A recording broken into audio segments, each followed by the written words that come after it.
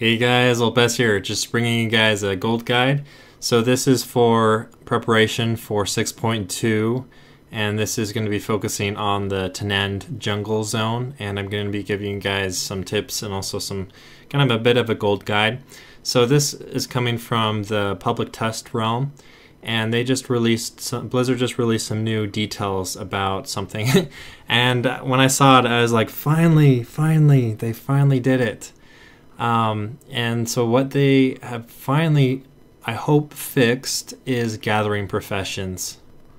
Alrighty, so Blizzard announced a new crafting material. It's called Fel Blood. So it's really similar to Savage Blood, um, where you're able to use this. This reagent is going to be used to upgrade your crafted Warlord's gear.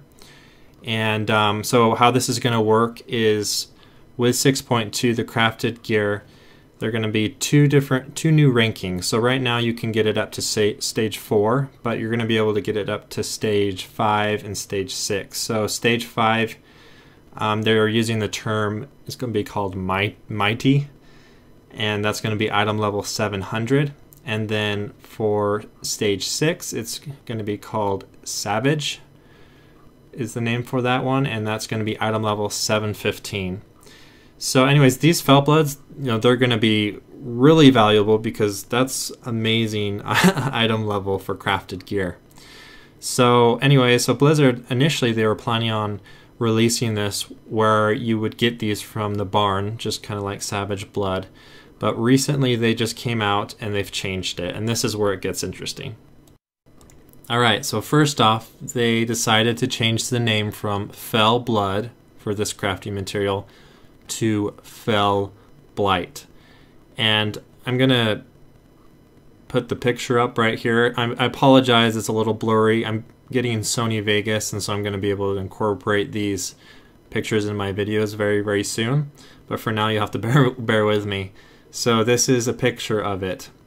So as you can see the tooltip here, it uh, says obtained from mining, herb gathering, skinning, or fishing in Tanaan Jungle can be bought and sold on the auction house. oh my gosh, guys, this is going to open up so much stuff. So, you know, back in other expansions, I loved uh, the, the gathering professions. I loved mining in particular, and that's what I was before I did tailoring, as I was a miner.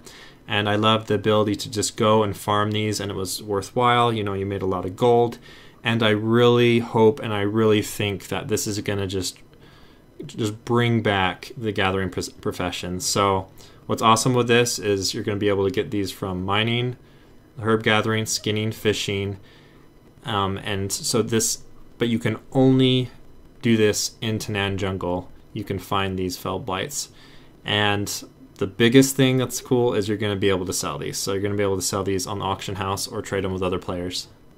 Alrighty, guys, let's go into this with a little more depth. So for herbalism first, there's going to be a new herb called withered herbs, and these have a chance of rewarding any of the normal herbs, the Draenic herbs, and they also have a chance of getting the Fel Blight. Um, for mining, they you just have a chance. There's going to be mining nodes and in Tanaan Jungle, and you have a chance of getting the Fel Blight as well. And then skinning, anything you skin in Tanaan Jungle is going to have a chance of getting the Fel Blight. And then fishing, they're going to be having a new fish. Uh, it's called the Felmouth Frenzy. And um, they're going to have schools of these. And um, you can also, once you have a level 3 fishing sh- shack, you can um, also have a chance of catching the Felmouth uh, Frenzy Lurker, or Lunkards. Lunkers. there you go.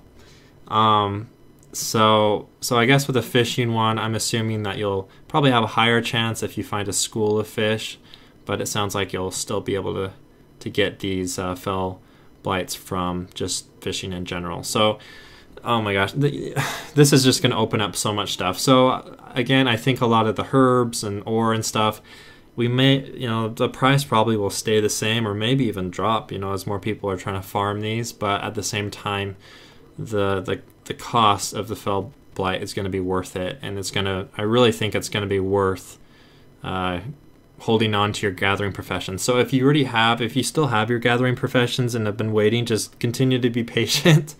you know, hopefully 6.2 within the next couple months will will be released and go live.